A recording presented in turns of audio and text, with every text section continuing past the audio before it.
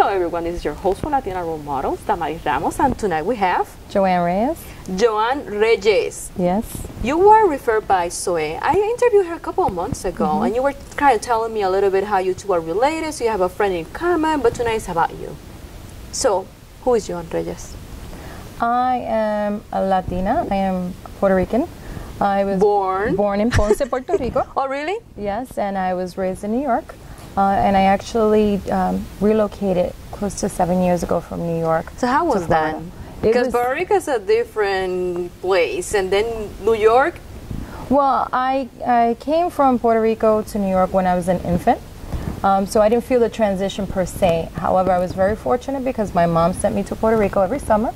Not because I was a bad kid or anything, but it was just so I could share time with my family.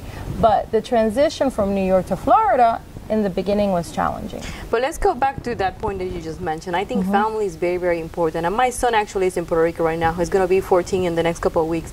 And I have sent him for probably three years now to Puerto Rico since he was 9 Mm-hmm. Because for me, family is very important. And for him to have that connection with my sisters, with my mom, with the cousins. So you think I'm doing a good thing? Of course, of course. So I'm pretty sure because we were talking in Spanish, so your Spanish and English is perfect because because you've been there, you've been here, so the culture.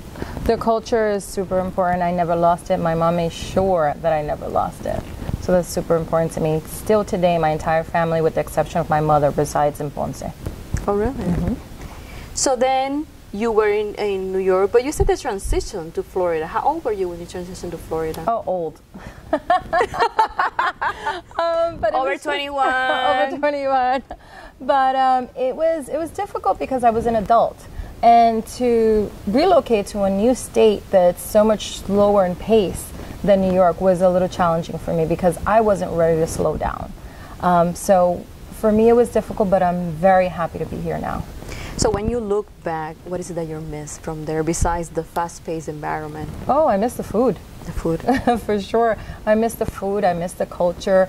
Um, I miss the pace, and of course, I miss all my friends who are there, and most definitely my mom who's still there. so now that you're in Florida, what is it that you're saying? At least I'm glad that I have this right here. Oh, there's so many things that I'm grateful for. Um, I would say parking is number one. Believe it or not, parking is a huge deal in New York.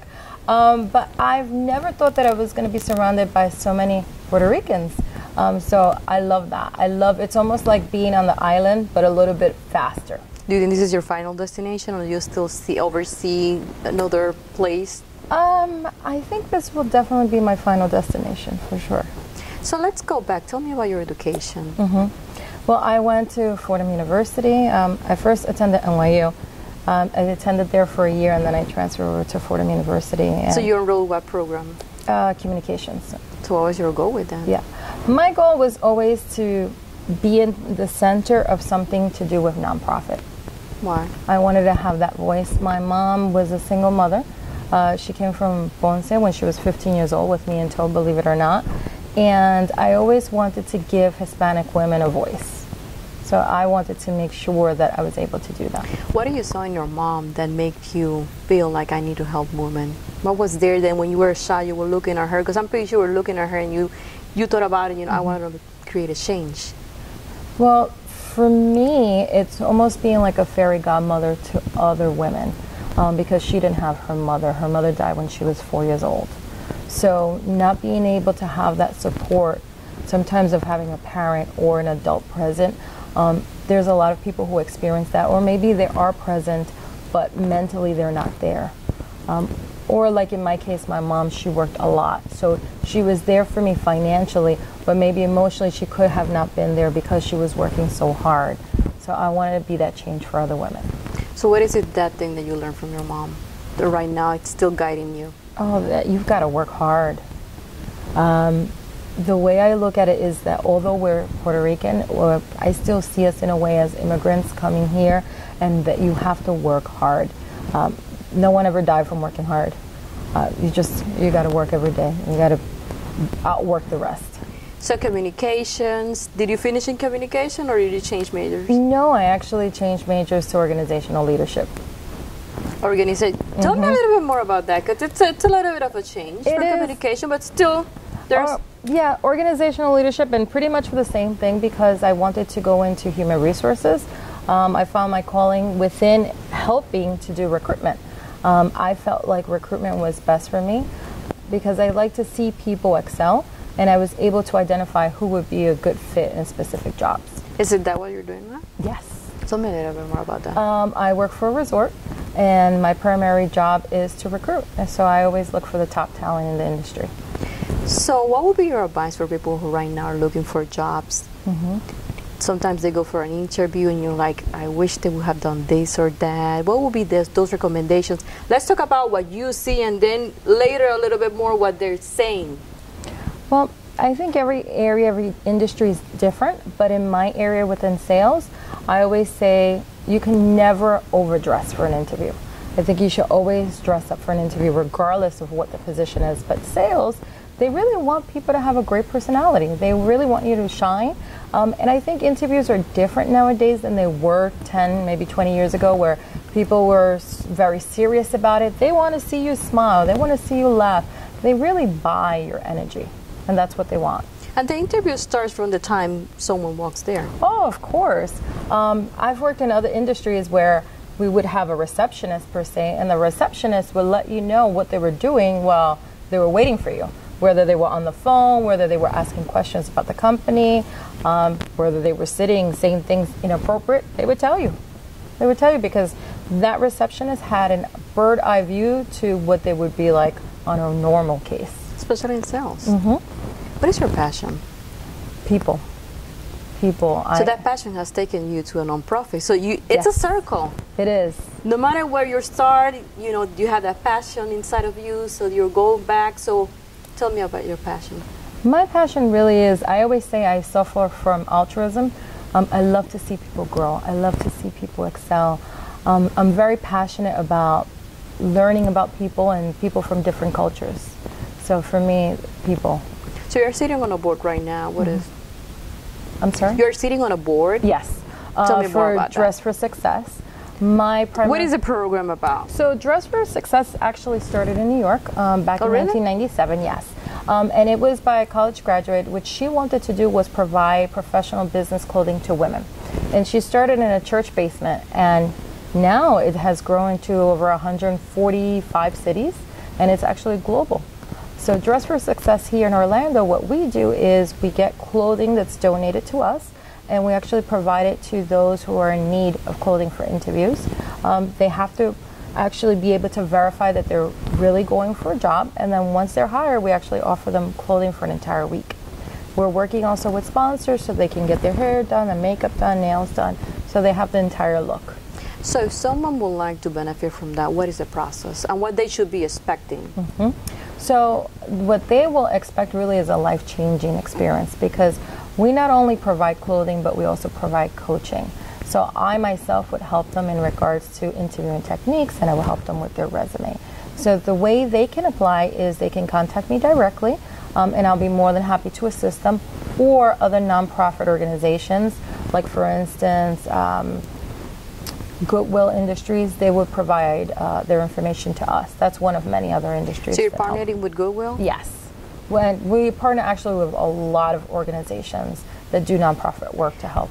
So let's say, you know, because you know, in a community center that I manage, sometimes people come and they're a little lost in the process. I usually send them to Goodwill, but mm-hmm. Dress for, for, Success help them definitely to have the look that they need. Like you're saying, you know, mm-hmm. you're never overdressed.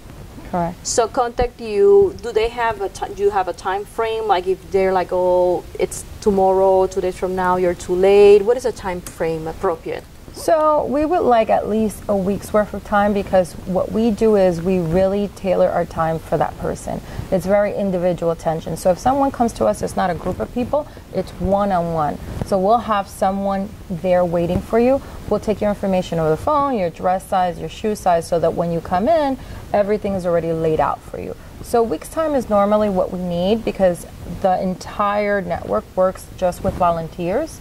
Um, but if in a case of emergency, we'll make it work. In emergency, like 24 hours, I will go there myself if necessary and help them.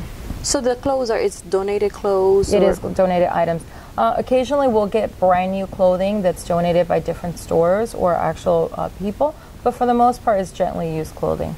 And you have different events throughout the year, isn't it? We do. You have luncheons and tell me about it. Yes. Um, most recently, we had Hats Off, which is a great uh, event that we have annually where we charge a small fee and our great people in the area are honored, but we talk about the program as a whole. Our bigger event happens during Christmas time. So we have a cupcake challenge. So vendors in the area come in and do, they do a challenge. Santa Claus comes in, but it's a great event. So, what is the goal of that event? The goal is really to um, get enough funding to be able to have a location um, and to be able to offer different tools that are necessary to purchase computers where people can work on and work on their resume, uh, to purchase items, just regular items that we may need for them. But most of the items that we have are donated. So, what is it that the organization is in need of right now? Right now, we're in need of financial donations. Um, Herzing University has been a great host for us, so we're currently there and they allow us to use their facility, but it is on a short term basis. So we're not going to be there forever. So eventually, we would like to have our own space. Uh, but of course, we'll be more than happy to take gently used clothing as well as brand new clothing um, and shoes and articles. We tend not to have enough larger sizes or smaller sizes. So anyone who's petite or plus size always seems to run out for us. So, what would be a good number to call you? Because you said, um, so it's volunteer basis. So, sometimes Yes. you have to go also pick up clothes and things like that. What would be a good number? Uh, they're welcome to reach me at 407 721 9859. Okay, so for those women that look at you and they're like, I would like to be like her, like so and so, it's like you need to interview her. So tell me what is it that she sees in you too? Um, you know, The passion. I think we're very similar. She and I are very similar. We're vo- both very passionate about helping people. Um, we're both girls from the Bronx. Um, so we consider ourselves very normal. We like to hang out, have fun like everybody else. But we're also very hard workers and very committed to helping people. So what will be your advice for those women that look at you like, I would like to be like her? They're already like me. Um, I'm an average person like everyone else who really just wants more. Um, I'm a mother and I have two children, uh, Sophia who's six and Gabriella who's 18. And I'm just like everyone else. I'm working every day harder and harder for my children. So basically, you're saying every woman is a diamond. Sometimes we're in the rough, but we're there. Exactly. Everyone has it. Of course, you just have to shine it off. Thanks for coming. It has been a pleasure. Thank you. Thanks. This has been Damaris Ramos for Latina Models. Thank you and good night.